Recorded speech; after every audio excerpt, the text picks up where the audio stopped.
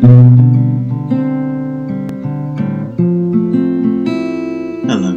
and thank you for joining us for today's thought for the day, Thursday, the 24th of December. The readings for today are Job 33, Zechariah 9, and Revelation chapter 7 and 9. The title of today's theme is The Rest of Mankind Did Not Repent.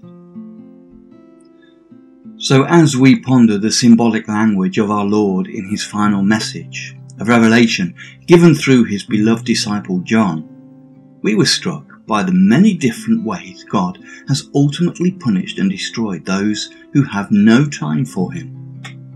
Often, after a long period of grace, looking to see in them a change of heart. There are two classes of people who suffer this punishment.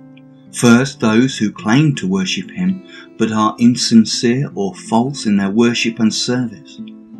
It can be said that they try to have the best of both worlds. Secondly, there are those who have no time for God at all, especially those who have convinced themselves there is no God, no Creator, that all exists as the result of an incredible series of accidents over an endless age. There is, of course, a small third group. Those who are faithful, but who suffer at the hands of others. Some of them become martyrs, and we read of them yesterday in Revelation 6, verse 9. Through the ages, God has brought plagues upon both classes of people. We remember the plagues in Egypt and the days of Moses, the Egyptians surely had a memory of the blessings that the leadership of Joseph had brought to their nation. But human memories of good things always fade away or become taken for granted. Is not this the spirit in the world today? As we read chapter 9 of Revelation with its pictures of destruction and reflection on its probable application to particular events throughout the ages, we came to the final second verse, which says, The rest of mankind did not repent of the works of their hands, nor did they repent of their murders, or their sorceries, or their sexual immorality, or their thefts. Any sense of repentance these days for disregarding God's laws has now more or less vanished. These words are especially a warning to our generation we call to mind how Jesus read from the Isaiah scroll in the synagogue.